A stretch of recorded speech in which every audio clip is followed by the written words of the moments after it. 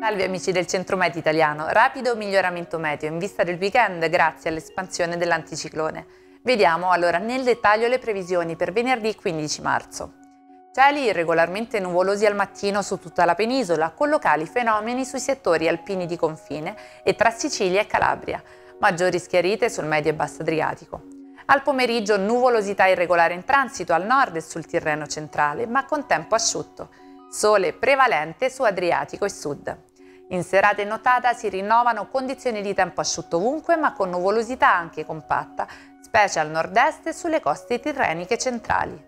Temperature minime in aumento al nord e in calo al centro-sud, massime in generale aumento ovunque.